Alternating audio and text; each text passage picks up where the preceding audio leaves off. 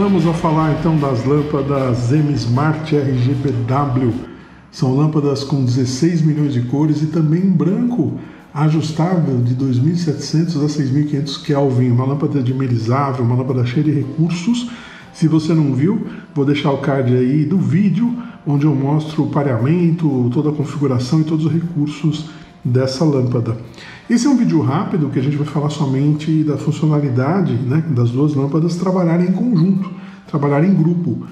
Mas antes da gente entrar em detalhes, gostaria de lembrar que aí na descrição do vídeo você vai encontrar o link para a compra dessa lâmpada, caso te interesse. Inclusive dá uma olhadinha na loja oficial lá da, do grupo das M Smart, a Bex Smart, que tem uma promoção se você comprar duas, né? Se você comprar um conjuntinho de duas, o preço fica um pouquinho melhor. Dá uma olhadinha aí. Também não esquece de deixar o seu like nesse vídeo, deixe também seus comentários, suas dúvidas, a gente sempre responde. E se você não for inscrito, inscreva-se no canal, isso não custa nada para você, mas nos ajuda muito.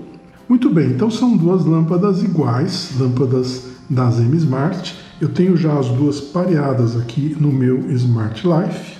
Bem, olhando então aqui na tela inicial do Smart Life, eu vejo que eu tenho lâmpada Zigbee e lâmpada Zigbee 2. Então as duas estão aqui já configuradas, prontas para serem utilizadas. Como eu faço então para fazer com que elas trabalhem em conjunto? Porque eu posso entrar aqui, por exemplo, numa delas, né? E eu vou ter a possibilidade aqui de, por exemplo, trabalhar cores, né? Individualmente, deixar ela vermelha e tudo mais, né? Fazer várias outras configurações aqui individualmente. Eu vou ter que fazer com cada uma delas.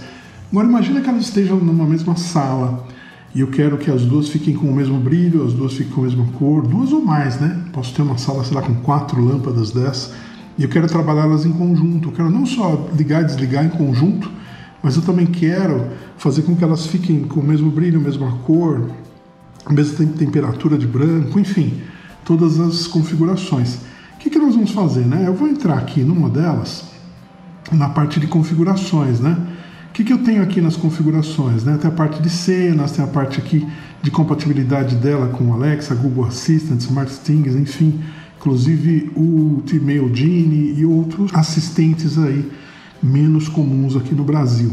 E eu tenho aqui a possibilidade de criar grupo. Então eu tenho nesse menu aqui a opção de criar grupo.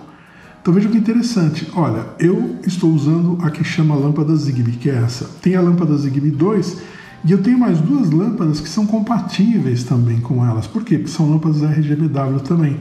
As duas estão na minha saleta, lâmpada 1, lâmpada 2, que já estão agrupadas também. Mas eu vou criar aqui para fins desse nosso vídeo, eu vou incluir somente no grupo essa lâmpada. Então tá aqui, ó, eu tenho já um grupo, né, com as duas lâmpadas, lâmpada Zigbee, lâmpada Zigbee 2. Vou salvar, ela vai pedir um nome para o grupo. Vou chamar aqui, deixar esse nome padrão, né? Lâmpada Zigbee grupo e guardo, né, ou salvo. E a partir desse momento, o que, que eu tenho aqui, né? Eu já tenho aqui o grupo, né? Então vou ligar o grupo, olha que interessante. Essa tá vermelha por quê? Porque a última vez que eu liguei, deixei ela no vermelho, mas vamos agora escolher uma cor aqui, ó. As duas ficam juntas, ó. Vou escolher um branco azulado, vou aumentar o brilho, olha, elas respondem juntas. Então passei a ter as duas controladas de uma forma conjunta. Posso ainda controlar de forma independente, né? Eu posso, por exemplo, ligar só uma, entrar nela aqui, mudar, sei lá, para um roxo aqui.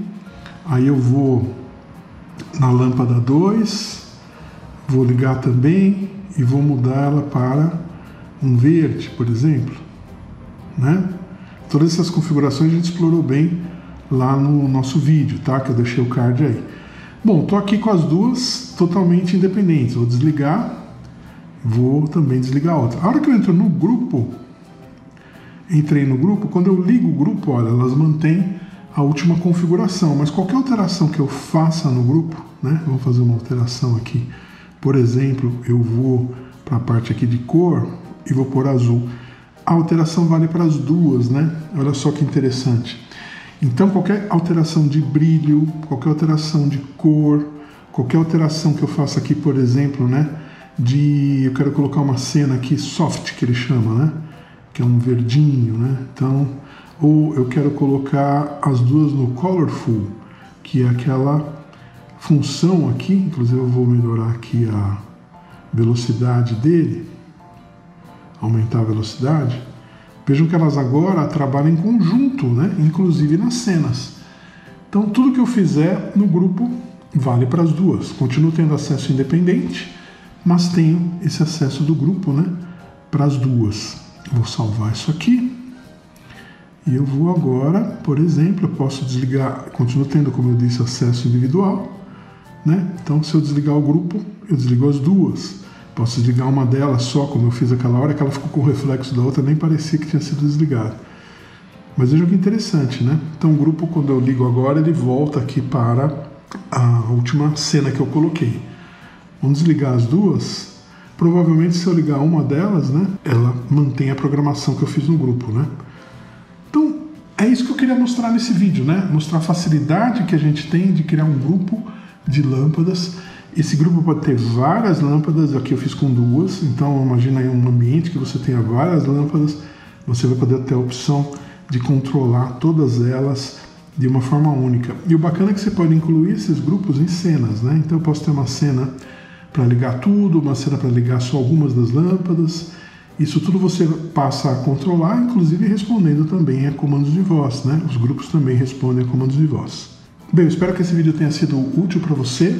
Não esqueça então de dar uma olhadinha aí no, na descrição do vídeo no link para a compra dessas lâmpadas, caso te interesse. Não esqueça também de deixar seu like nesse vídeo. Deixe seus comentários, suas dúvidas, a gente sempre responde. E muito importante, se você não for inscrito no canal, inscreva-se, isso nos ajuda muito. Muito obrigado e até no próximo vídeo.